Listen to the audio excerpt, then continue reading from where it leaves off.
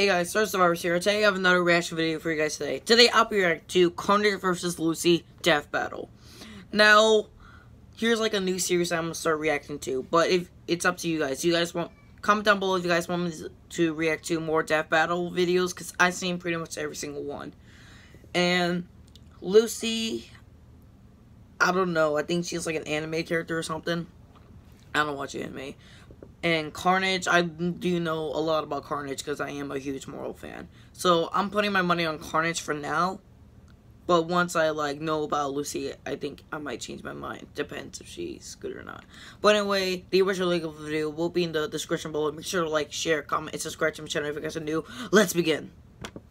Hey everybody, we have a brand new Death Battle t-shirt uh, on the ScrewAttack slash Rooster Teeth store. Head to store.roosterteeth.com and you guys can pick one up. It's a great way to support the show.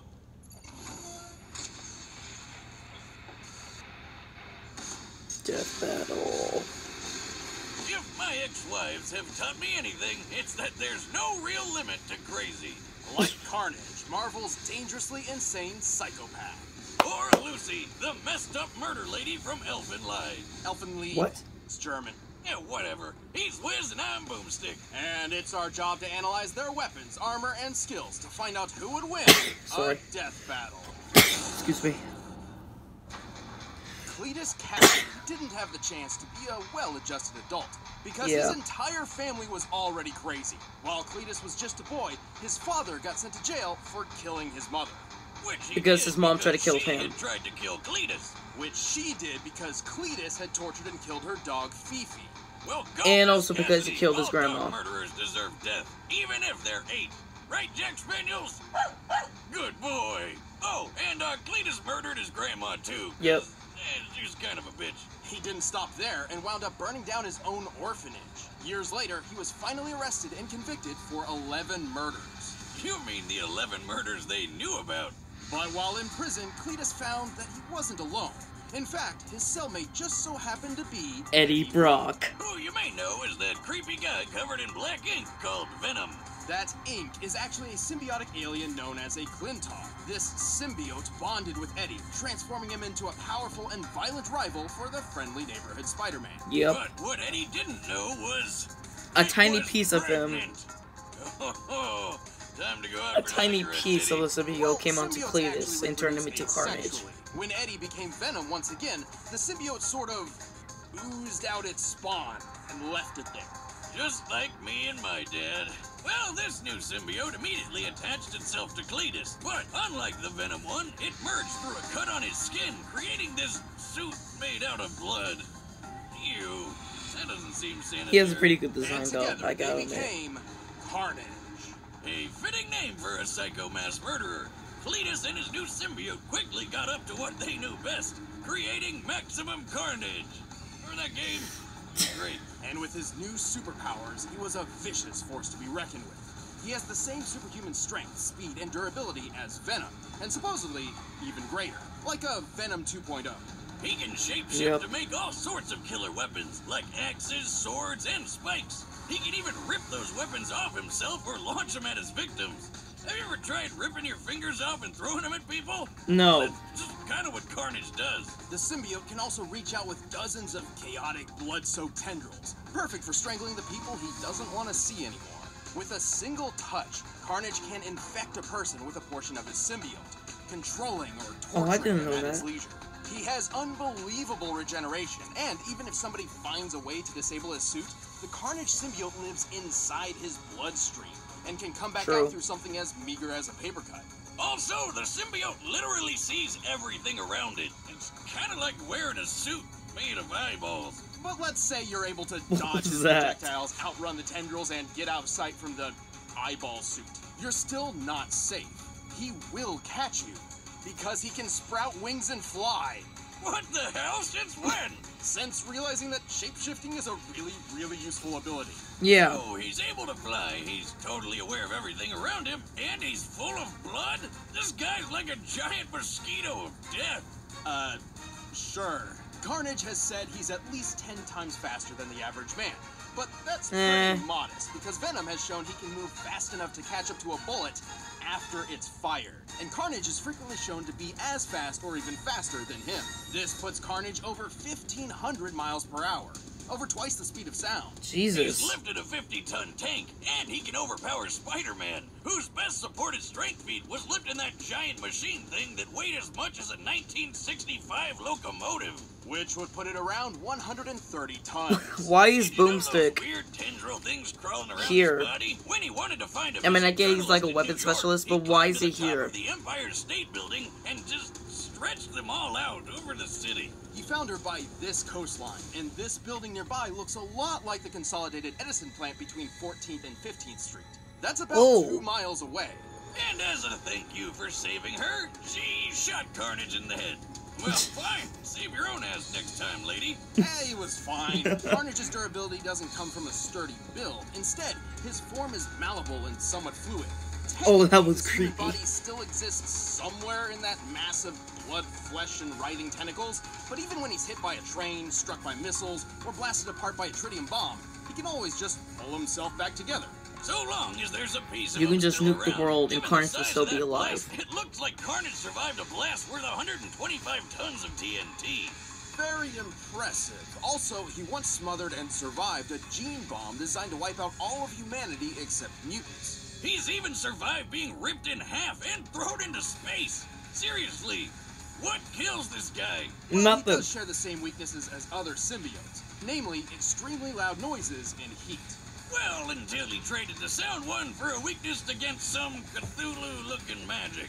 Carnage has been through a lot, but with two minds as one, he always gets back up to keep doing what he loves. Murder, murder, and, you know, more murder.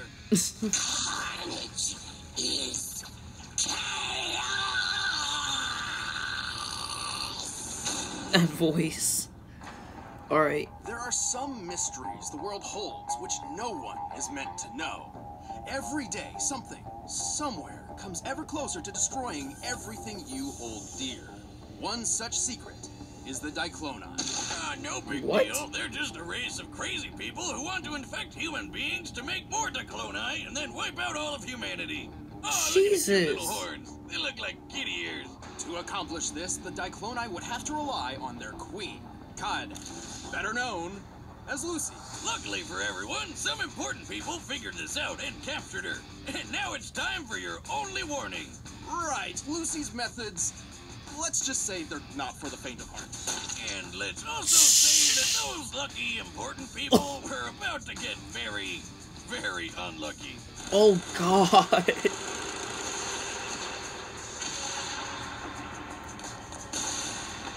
If she's gonna do that to what's Carnage, she can probably just regenerate. So, so far, my money's back. still in As an infant, Lucy was abandoned by her parents and left alone to suffer a life of constant discrimination.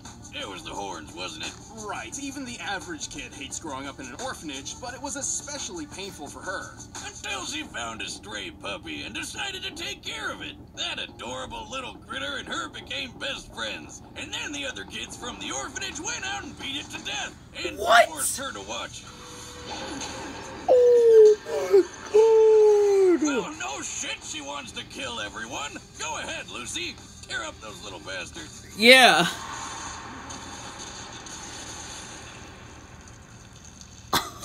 Whoa. Damn. This Yeah. Is the first time Lucy unleashed her psychokinetic vectors. As a Diclonius queen, Lucy is meant to use these vectors to infect ordinary human beings with the Diclonius virus. Oh, I get that to uses kill the them puppy, but so Jesus Christ. For simplicity's sake, think of the vectors as invisible arms which can sprout from Lucy's back. Lucy can use up to 28 vectors with a normal range of about 6 to 7 feet. When she gets really serious, her horns grow and the vectors get way longer and stronger. She can Ooh, vibrate damn. her vectors at different frequencies, and each level of vibration language, has I'm different sorry. effects. Kinda like that thing that my ex-wife had on the nightstand that I thought was one of those crazy pens. At low frequencies, her vectors can pass through objects with no effect. At a medium frequency, the vectors become solid, like extendable hands, while still completely invisible. These can be used as shields and lift heavy objects. Oh man. So if people just use- things, so she kinda uses it like the all Force. time, like tying their shoes from across the room. Also, since this seems to be a thing in this episode, she can fly. It's not really flying, she's just lifting herself off the ground. With the third frequency, Lucy turns her vectors into invisible blades. These can cut through people and bend metal. And with the last and highest frequency, Lucy gets explosive. No, really, at this level, they finally become visible and can strike with enough force to detonate. Damn, they don't call this chick the queen for nothing. Yeah. Unfortunately, Lucy is not always in control of what she does. Turns out she has developed several alternate personalities. Yeah, getting shot in the head can do that to you. That injury specifically created Nyu, a passive, almost childlike persona which exists as a coping mechanism for Lucy's trauma. As Nyu, Lucy would finally Oh. find friends and began forging a path toward hopeless redemption. Unlike her third personality, the so-called DNA voice, which constantly whispers in her ear that she's got a job to do. Give them all, Lucy, before they hurt more puppies. Ooh, I'm spooky DNA. Boomstick just could stopped. Lucy's fast enough to block bullets from a point-blank range. And once, she actually saved herself from a bullet after she had already been shot. As in, while the bullet was traveling between her skin and her heart. It looks like she's getting shot What? by an MP5, which fires bullets at nearly 900 miles per hour. With her body type, a the distance gun. between Lucy's skin and heart is less than an inch, probably around 2.4 centimeters. Given the bullet speed and the distance her vector would have to reach from her back before the bullet hit her heart, her vector had to move nearly 1900 miles per hour. That's over twice the speed of sound. Yeah. Throw a pen through a guy's skull. Brutal. And even toss this Was she guy Magneto? forward. When compared to this guy, Bando, whom we know is 6 feet tall, we can determine the boulder weighs about 75 tons. Her vectors are also tough enough to block a missile from the Air Force. While the exact model of missile is unspecified, it is fairly large and likely an air-to-surface type. I bet it's one of the Air Force's SLAMs, or standoff land attack missile, built off the back of the Navy's Harpoon missile. In fact, a harpoon is used against a different Diclonius at one point. So this beast slammed into her vector at 500 miles per hour with a 1,000 pound explosive yield, and it didn't even phase her. Okay, Even this without a vector Lucy shield, chick is actually starting to surprise nasty me. Explosion herself. Like, knowing her knocked her out. abilities and her backstory and stuff, but the time she punched through an iron? My money's still gonna be on Carnage. compared to nuclear fusion. This kicked up a 100-foot tidal wave and a 9.2 magnitude earthquake. A level so high, there's only been four comparable quakes ever recorded. Her vectors can be as wide as buildings and reach into outer space. Except that's about when Lucy reaches her limit. Right. Hmm. As a Diclonius, Lucy has a few severe weaknesses. Her vectors can be nullified if she's struck in the forehead, or if one of her horns are broken. Oh, also, Oh. if Lucy pushes herself too hard, she starts to melt. Kinda like ice cream out in the Texas sun. It's not pretty. She's just a big puddle of goop with a face, but she's still a total badass, even at her meltiest. While suffering agonizing pain, she was capable of single-handedly halting a massive military threat, while healing and protecting the person she loved most. Perhaps redemption wasn't so hopeless after all. Hey, let's watch her kill some more people. Cause yeah, that's satisfying.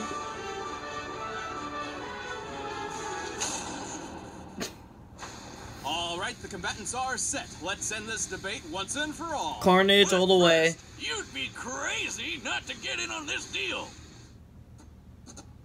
Blue By Apron. now, you've probably heard of Blue Apron, the leading meal kit delivery service. Yeah, we probably heard of it But you already because you put it in pretty much every single you in every single like of your videos. chicken with poblano and lime rice. There's Ooh, plenty to avocado. choose from, since they offer 12 new recipes each week. All you have to do is choose the two, three, or four that sound best to you, and they deliver it right to your door. Plus, it's super simple to cook. It's got easy to follow instructions and perfectly proportioned ingredients. They're non-GMO, and the meat has no added hormones. My favorite part is feeling like a master chef, making creative and delicious meals with my own hands. You guys really need to try it out. It's pretty nice coming home knowing I'll have a delicious meal I can whip up with these. Actually, kind of looks So good. check out this week's menu and get your first three meals free at blueapron.com. How many minutes do we have on this Six more minutes. slash battle to get your first three meals free.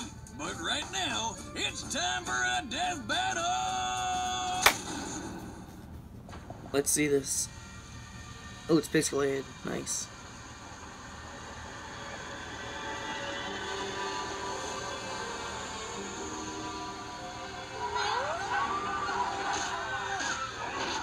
Oh gosh, she sees it.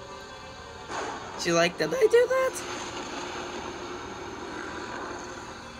Carnage.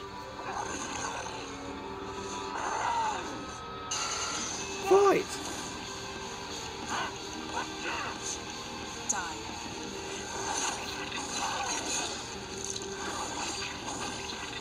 Ooh.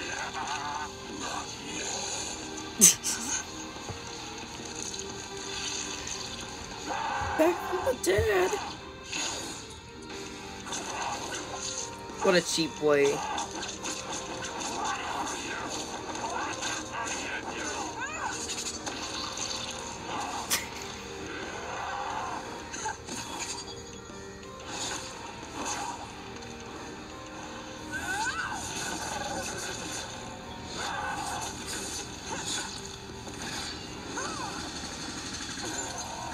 Oh yeah, I forgot. In the comics, he actually does use his face as a like a giant shield.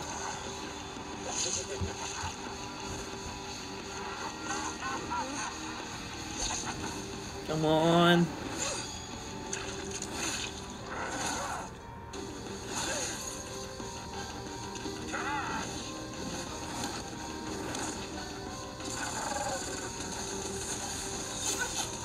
Ooh. Oh! There we go, Carnage.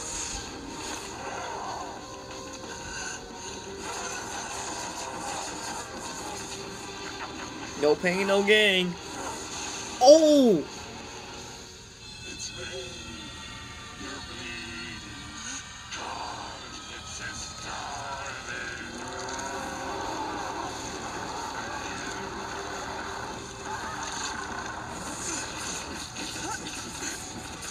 How many did it say that she had? Like six? With those invisible arm things?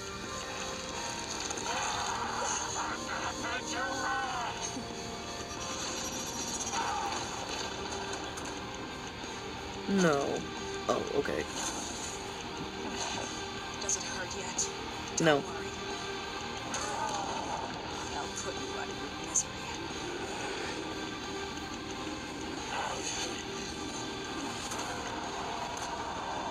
Oh.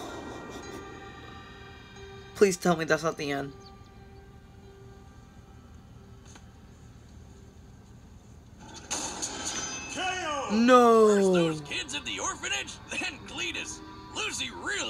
Dog killers, and for good reason. Carnage was a challenging opponent. It was incredibly difficult for Lucy to deal any I legit thought damage Carnage was gonna He had win. the durability advantage in the bag, though Lucy fighting as a puddle proved she could take a lot of pain and keep on fighting. Sadly, Carnage came up short in pretty much everything else. Right, Carnage was tough, but not invincible. Even his surviving that gene bomb isn't quite as impressive as it sounds. Since he had no other feats to even remotely back up planetary level durability, and the bomb was more akin to a biological weapon anyway. While Carnage's tendrils could pass speeds of Mach 2, Lucy's vectors once reached into outer space. By timing her accompanying monologue and comparing the longest vector's length to the curvature of the Earth, it's clear she reached over 2,400 miles in 20 seconds max. Jeez. Way longer than Carnage's two mile feet. All this means her vectors were moving at least 440,000 miles per hour. Okay, More that's than starting to make sense times the speed of sound and 250 times faster than Carnage. Good luck getting past that. And this was really the biggest hurdle. With Lucy's redonkulous speed and Carnage's healing powers, it all boiled down to one thing. Who could hit the killing blow first? I mean, Carnage could respawn from scraps, so the only way to beat him for good was to totally vaporize him. And Lucy had the perfect answer to that. Remember that time she hit an island so hard she caused a 9.2 magnitude earthquake and a 100 foot tall tidal wave? Such a feat would require an enormous amount of explosive energy, approximately 31,000 tons of TNT, similar to the bomb that hit Hiroshima. It's literally compared to nuclear fusion in the Elfen Lied manga. Elfen Lied, it's German. Uh, j- j- the point is, in order to beat Carnage for good, Lucy needed to totally obliterate him. And she could do that. The heat produced within the initial impact of a nuclear explosion can reach temperatures up to 180,000 degrees Fahrenheit, more than 18 times hotter than the surface of the sun. And to top it off, heat was Carnage's biggest weakness. Even if True. Lucy's explosive force was just a fraction of this, it would still have been far too much for him. She just needed to smack him before he could power through her vectors, which chances were pretty slim for that happening anyway, because there's a bunch of them and they're so damn fast. Hitting Carnage with a big explosion punch was way easier. Cletus and his symbiote may have had the endurance, but Lucy's space-worthy speed, overwhelming presence, and nuclear strength won the day. She dealt the carnage needed for a total victory and took the lead. There, I said it right, Wiz. Happy? The winner is Lucy.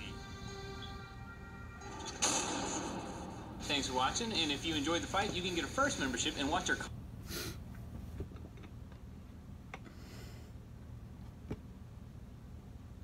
Okay. So I now see why Carnage will lose.